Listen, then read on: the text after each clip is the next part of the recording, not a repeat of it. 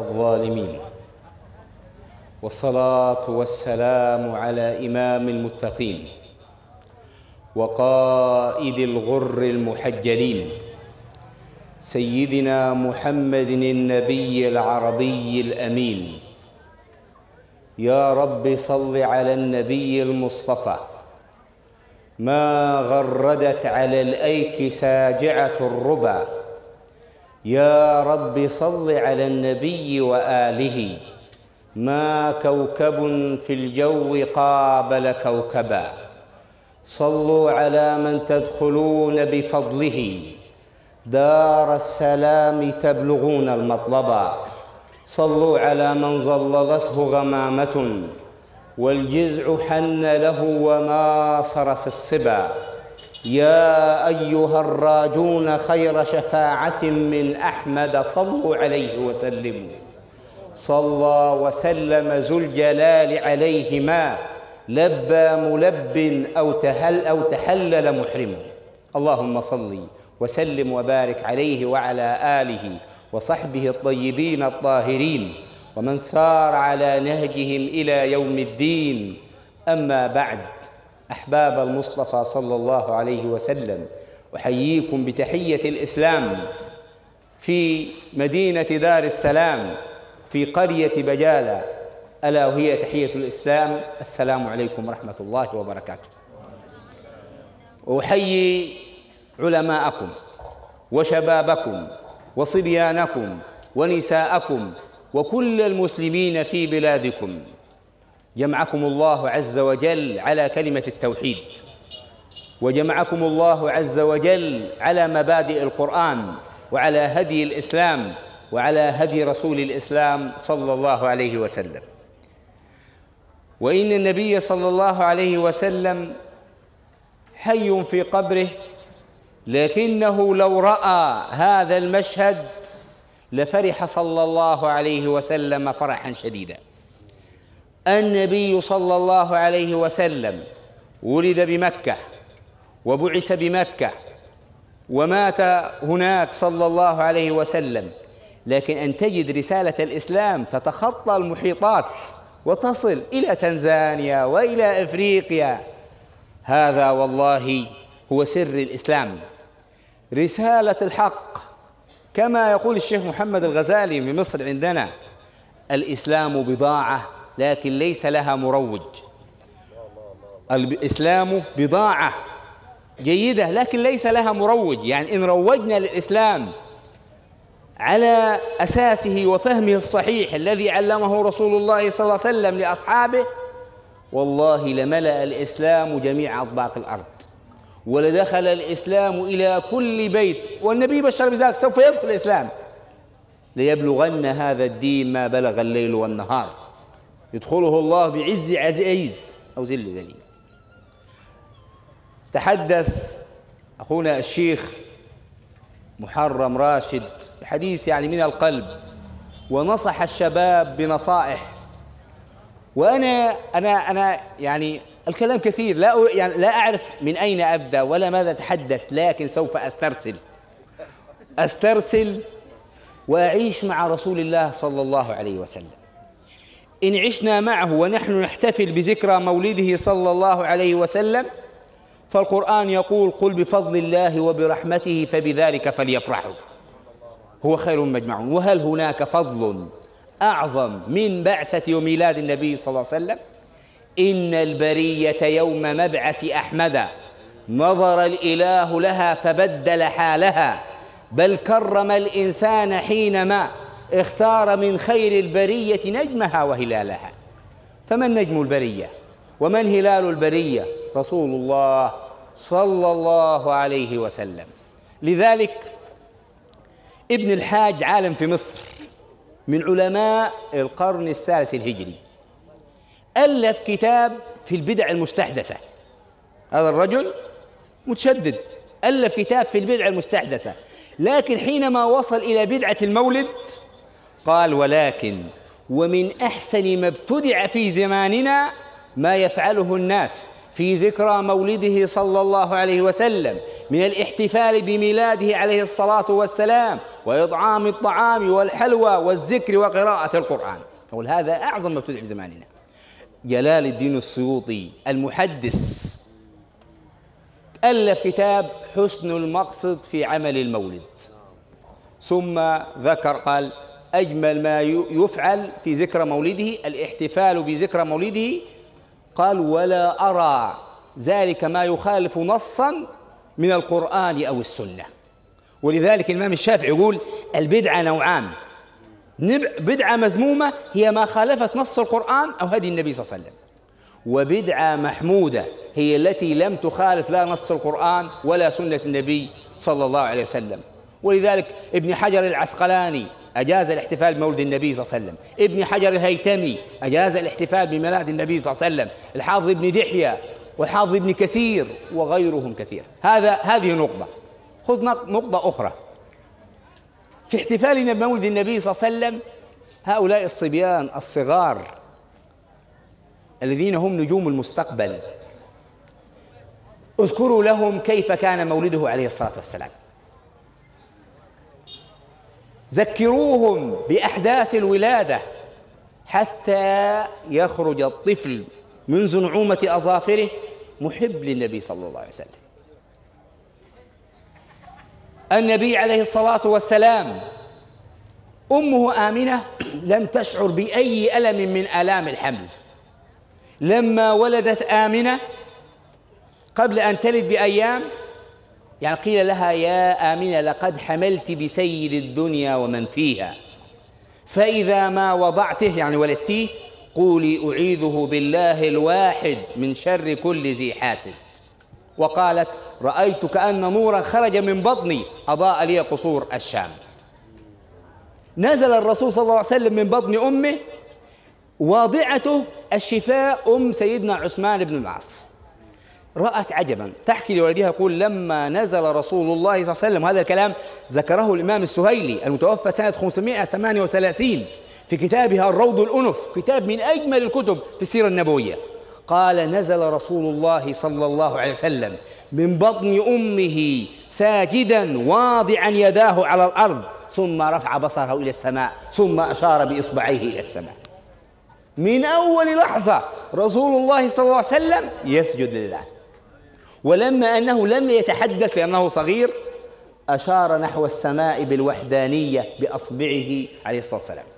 والشفاء تقول لولدها ورأيت النجوم تقترب تقترب تقترب حتى كأني أقول لكأنها لتقعن علي.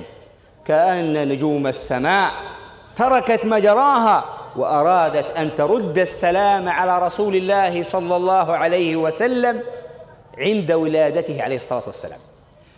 العباس عم النبي صلى الله عليه وسلم بعد أن أسلم بيقول للنبي صلى الله عليه وسلم بيقول والله يا رسول الله أول ما دخل قلبي من الإيمان بك والإيمان برسالة الإسلام عندما كنت أنت صغيرا يا رسول الله. قال ماذا رأيت؟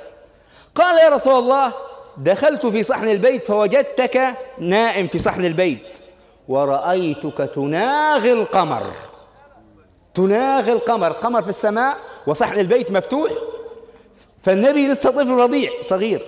يقول يا رسول الله رأيتك تناغي القمر وتشير إليه بإصبعيك. فحينما فأينما وجهت يديك مال القمر. إذا وجهت يديك نحو اليمين مال القمر نحو اليمين. إذا وجهت يديك نحو اليسار مال القمر نحو اليسار.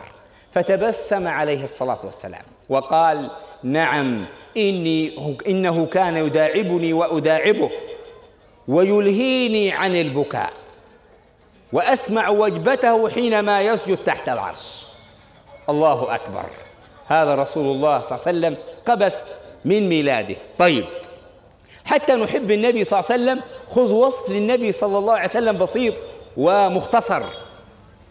هل رأيت رسول الله صلى الله عليه وسلم كلنا ندعو نسأل الله عز وجل أن يرينا النبي في المنام أو نراه يوم الجنة ونشرب من حوضه عليه الصلاة والسلام. لكن انظر أجمل ما قيل في وصفه صلى الله عليه وسلم إذا رأيت إلى وجهه يتلألأ وجهه كتلألؤ القمر ليلة البدر. يصف الصحابة إذا نظروا إلى وجه النبي صلى الله عليه وسلم يرى الواحد وجهه في أرنبة النبي صلى الله عليه وسلم وجبهته. كأن وجه النبي مرآة. عليه الصلاة والسلام. وإن كان يوسف أعطي شطر الجمال فرسول الله صلى الله عليه وسلم أعطي الجمال كله. عليه الصلاة والسلام. طويل ليس بالطويل ولا بالقصير ربعة. مستوي الصدر والبطن متماسك البدن ليس فيه رهط. عنده قوة. أتاه ركانة. ركانة ده شجاع أشجع. من أشبع الناس في مكة. لا يستطيع أحد أن يصرعه. إذا مسك بأقوى رجل يرميه على الأرض. فجاء ركان إلى النبي صلى الله عليه وسلم وقال يا محمد أنا لا أسمع قرآن ولا غيره. إن صرعتني أسلمت بك. والله ما صرعني أحد من العرب. إن صرعتني أسلمت بك. فقام رسول الله صلى الله عليه وسلم وهو يتبسم. وأمسك رسول الله صلى الله عليه وسلم بركانه ولفه ثوبه ولفه كما يلف الثوب وطوفه وطوفه صلى الله عليه وسلم ثم رماه على الأرض. فقام ينتفض صلى الله عليه وسلم. قام الرجل ينتفض. يا محمد أخذتني على غرة. قال تعال ثانية. فأخذه رسول الله صلى الله عليه وسلم ولفه كما لف ثوب ثم رماه على الأرض. قال أخذتني على غرة. قال تعال مرة ثالثة. أخذه رسول الله ولفه ولفه له ورماه على الأرض. قال أشهد أن لا إله إلا الله وأشهد أنك رسول الله. والله يا محمد يا الله يا رسول الله ما صرعني أحد قبلك. والله ما أراها إلا هي أنوار النبوة. وأسلم ركانا. النبي صلى الله عليه وسلم كان أزج الحاجبين. حاجباه مقوسان. عريض الجبهة. أقرن بين حاجبيه فاصل. مرفوع الأنف ليس بغليظ عظيم الهامة كثير شعر العينين. شعره صلى الله عليه وسلم ناعم ليس بالجعد القطط ولا بالناعم الفضفاض إنما شعر جميل يتموج. ولذلك النبي صلى الله عليه وسلم كان اذا توضا وعمل يده رأسه هكذا شعره ينزل. إذا رفع شعره وعمله بيده كده ينفرق صلى الله عليه وسلم. وكان أحسن أكثر أحوال شعره صلى الله عليه وسلم عند شحمة الأذن عليه الصلاة والسلام. جميل الوجه بياضه مشرب بحمرة عليه الصلاة والسلام. يداه صلى الله عليه وسلم من كسر الطيب إذا سلم عليه الرجل يظل الطيب في يد الرجل شهر كامل. إذا مر صلى الله عليه وسلم بشارع الناس يعرفون من هذا الشارع مر رسول الله صلى الله عليه وسلم. الصحابي جرير يقول سلمت على رسول الله صلى الله عليه وسلم. فما لمست حريرا ولا ديباجا ألين من كف النبي صلى الله عليه وسلم. ووالله من طيب رائحة, رائحة يده. لما سلمت عليه فكأنما استخرج يده من جونة عطار. عليه الصلاة والسلام. مستوي البطن والصدر عريض المنكبين صلى الله عليه وسلم قوي الساعدين في المعركة. سيدنا الإمام علي يقول كنا إذا حميت المعركة واشتد الوطيس نتقي ضربات الأعداء برسول الله صلى الله عليه وسلم.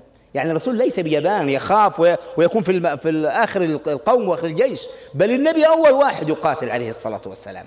فكان عليه الصلاة والسلام أشجع الناس وأرحم الناس. نحن كدعاة ربما في وقت من الأوقات نمل. واحد يسألنا سؤال. فربما يعني مثلا نعج... يعني نعتذر لكن انظروا إلى عظمته صلى الله عليه وسلم. صعد عليه الصلاة والسلام المنبر ذات مرة يخطب. وفجأة رجل أعرابي أتى من بعيد. دخل المسجد والنبي يخطب. قال يا رسول الله رجل من البادية أتاك يريد يسأل عن دينه. لو أنا عالم مثلا بشرح في خطبة أقول اسكت بعد الخطبة. لكن لا رسول الله صلى الله عليه وسلم سكت عن خطبة ونزل من على منبره صلى الله عليه وسلم ودعا بكرسي يقول الراوي الحديث أحسب أن قوائمه حديد ووضع الكرسي في وسط المسجد. مسجد النبي صلى الله عليه وسلم. وأخذ الرجل يسأل والنبي يجيب. النبي يسأل الرجل يسأل والنبي يجيب. حتى أخذ الرجل كل شيء من العلم ما يريد ثم صعد صلى الله عليه وسلم منبره وأتم خطبته. يا أحباب أحكوا للأطفال. إزاي النبي كان كيف النبي كان يحب الأطفال؟ إذا عاد النبي صلى الله عليه وسلم من سفر أو معركة هم الأطفال إلى أطراف المدينة. احملني يا رسول الله احملني. فيأتي النبي صلى الله عليه وسلم ويامر أصحابه يناولونه الغلام فيضع غلاما أمامه صبي صغير مثل هذا الطفل الصغير يضعه النبي أمامه ثم يقول اخر احملني يا رسول الله فيحمله النبي خلفه ثم يأتي غلام احملني يا رسول الله فيعطيه لأبي بكر احملني يا رسول اعطيه العمر فانظروا إلى الأطفال الصغار كان الولد الطفل الصغير الذي هو أمام النبي صلى الله عليه وسلم يفتخر على الذي من خلف النبي ويقول حملني رسول الله صلى الله عليه وسلم أمامه وحملك من خلفه. ويأتي الطفل الذي هو خلف النبي صلى الله عليه وسلم ويحتضن النبي. ينظر إلى الطفل اللي عند أبي بكر يقول؟ حملني رسول الله خلفه وأعطاك لأبي بكر. ويقول الآخر حملني رسول الله خلفه وأعطاك لعمر. انظر إلى الأطفال. من حبه للأطفال ووده. أن حديث يرويه قتادة أن أمامة بنت زينب بنت بنته. خرجت زينب لحاجة فأخذ النبي أمامة. أبو قتادة يقول رأيت النبي صلى الله عليه وسلم يصلي صلاة العشاء ويحمل أمامة على كتفه بنت بنته. فكان صلى الله عليه وسلم إذا سجد وضعها وإذا قام رفعها. الله أكبر. انظر الرحمة والود مع الأطفال. أخيرا من مشاهد حب الصحابة للنبي صلى الله عليه وسلم الصحابي الجليل معمر بن عبد الله. لو سألنا الناس يعني حتى الكثير من الشباب من معمر بن عبد الله؟ هل أحد سمع عنه؟ القليل يعرف. هو حلاق رسول الله صلى الله عليه وسلم يقص الشعر. معمر بن عبد الله الصحابة يحبونه. لماذا؟ لأن النبي صلى الله عليه وسلم في حجة الوداع نادى وقال يا معمر ائتوني بمعمر. والنبي يريد أن يتحلل فقال قص شعر رأس اليمين وأعطيه لأبي طلحة فإن صوته في المعركة أعظم من مئة فارس. وقص شعري الأيسر ووزعه على أصحابي. انظر مشاهد الحب. جاء معمر وأمسك بالموس. وحينما اقترب من رأس النبي صلى الله عليه وسلم بكى. لماذا تبكي يا معمر؟ قال يا رسول الله إن من نعمة الله علي أن أحلق رأسك. إن من نعمة الله علي أن أحلق رأسك. هذا شرف كبير. وبدأ بالموس والنبي نظر إليه قال يا معمر إهن يا معمر؟ الموس بيدك ورأس رسول الله بين يديك. والحاسب للموس قطع الرقبة فتبسم الصحابة. بدأ معمر بن عبد يقص الشعر. ما سقطت شعر على الأرض. لماذا؟ لأن هناك جنود محبون للنبي صلى الله عليه وسلم أصحاب النبي. كلما سقطت شعره قبل أن تسقط على الأرض هذا يأخذ شعره وهذا يتناولها وهذا يتناول هذه الشعرة. منهم من كان يمسك بشعره من أشعار النبي صلى الله عليه وسلم فيضعها على فمه ويقبلها. وآخر يمسك شعر النبي صلى الله عليه وسلم ويضعه على عينيه ويبكي. وآخر يحتضن الشعرات وينتقل بها إلى بيته ويقول لأولاده إذا أنا ما مت فضعوا شعر النبي صلى الله عليه وسلم بين جسدي والكفن عل الله أن يرحمني. ومنهم من كان يضع شعرات النبي صلى الله عليه وسلم في قارورة. فكان إذا مرض ولده ويضعون عليها الماء. كانوا إذا مرض بعض صغرائهم صغيرهم يسقونه من هذا الماء فيشفى بإذن الله. أنس بن مالك يقول يقول جاء رسول الله صلى الله عليه وسلم عندنا في بيتنا وأمي أم حرام كبير كانت أمه كبيرة في السن فنام رسول الله صلى الله عليه وسلم فعرق. فيقول أنس فجعلت أمي تسلت عرق النبي صلى الله عليه وسلم في قارورة. فانتبه النبي قال ما هذا؟ ما تصنعين؟ قالت. هذا عرقك. نستبرك به لصبياننا يا رسول الله. قال نعم أصبت أصبت. عبد الله بن مسعود أخيرا. عبد الله بن مسعود أخرج نعلين ووضعها أمامه نعال. ثم قبلها وبكى. قيل لهما هذا؟ قال إنها نعل النبي صلى الله عليه وسلم. ثابت. تلميذ أنس بن مالك ثابت هذا من التابعين. كان إذا مر عليه أنس يقول يا أنس يا أنس أرني عينيك الجميلتين اللتين رأيت بهما رسول الله صلى الله عليه وسلم أقبلهما. يا أنس اللتين رأيت بهما رسول الله صلى الله عليه وسلم أقبلهما. عكاش بن محصن في حجة الوداع النبي خطب خطبة قبل وفاته فقال من كنت جلدت له ظهرا أو ضربته أو شتمته فهذا ظهري فليقتص مني. قام عكاشة وقال أنا يا رسول الله ظلمتني. في غزوة بدر ضربتني بالمسواك في بطني فأريد القصاص. والنبي مريض.